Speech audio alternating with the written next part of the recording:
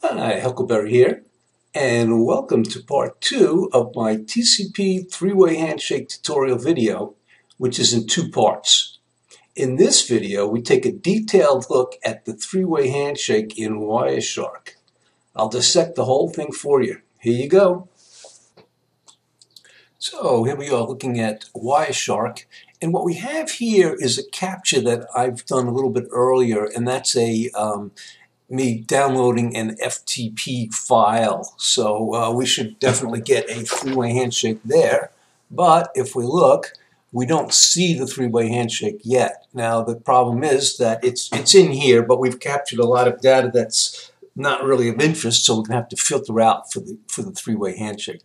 Uh, so what you can tell, if you look at the bottom here, you can see that the packets uh, total number of packets and the total number of displayed packets 100%. You see that says that it's the um, it's 100% or that these numbers are the same. So we can tell that uh, we have not done any filtering now.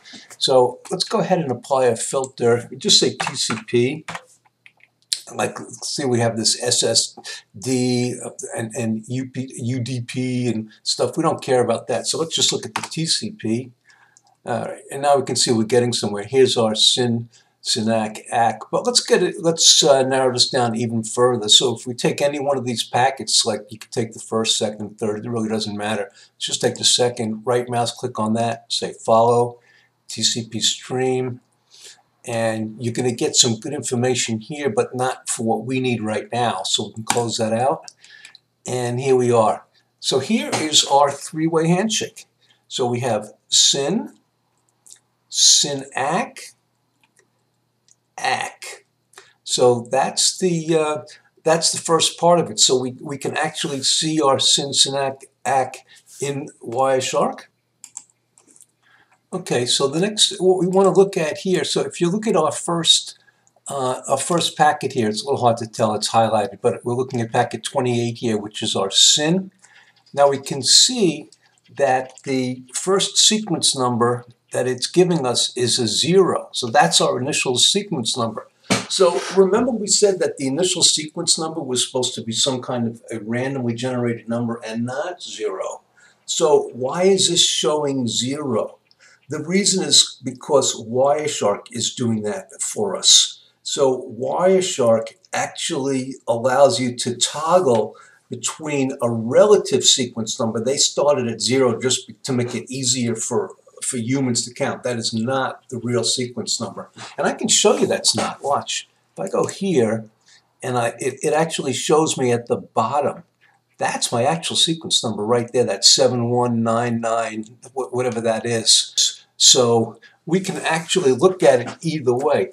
So let's go ahead and while we're on this topic, we're going to go and we're going to we're going to put it back to the um, we're going to take it away from relative sequence number and we're going to put it to uh, to the actual sequence number. So what you can do is you go to edit, you go to preferences, and then protocols. This is a little tricky to find.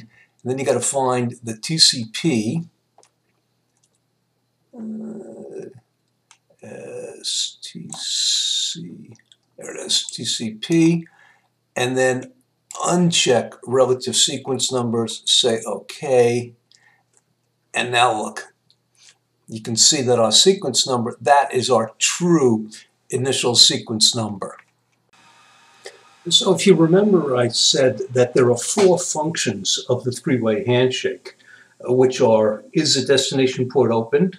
The advertisement of the ephemeral port, the advertisement of the initial sequence number, and the advertisement of the window size. So uh, let's look at them uh, one by one.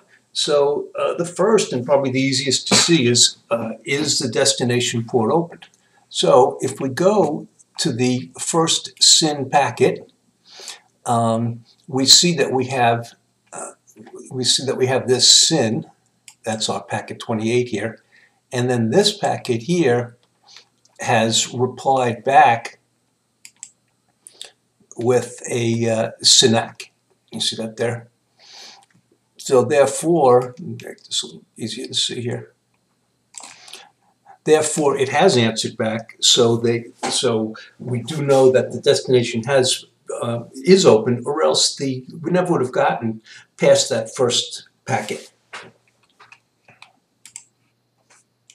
And the second part is the advertisement of the ephemeral port. So if we look at the first packet here, and here we see the advertisement of the ephemeral port. So if you look at the first packet, the ephemeral port is going to be the same as the source port, which in this case is 10386. And this is a little bit unusual, but that is your uh, that's your destination port or your well-known uh, port. Now, if we look at the next packet, then you can see that it's uh, reversed itself. So now it's uh, talking back to that same ephemeral port that became the destination port in the second packet. And now we look at the uh, advertisement of the initial sequence number. So if you look at the first packet here, we can see that our initial sequence number is this ending in it's this number right here ending in 0579. And then if we look at the second packet, that's our SYN-ACK. Now here we can see that it has acknowledged the last sequence number, so it's added one to it, so that's 580 instead of uh, 579. And then we have its sequ initial sequence number, which is this number here, ending in 9965. So now we can go to the last packet, the, uh, the last ACK, and we can see that we have a sequence number here of the 580, which is the same as, as, the, uh, uh, as the one above. And we have the, it acknowledges the with the 9966, which is one greater than the sequence number above. And last we, we look at the advertisement of window size.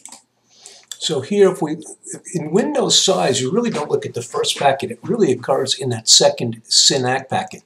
So here we have, in this second SYN-ACK packet, we have from the server to the client, okay, and we can see that it's advertising a window size of 65535, meaning that the client must um, must follow that window size. It can't send more than that amount of packets before it gets an acknowledgement.